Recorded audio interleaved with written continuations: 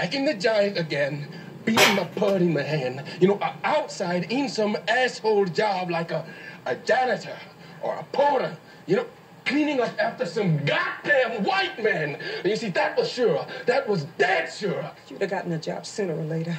Look at me, huh? Look at me!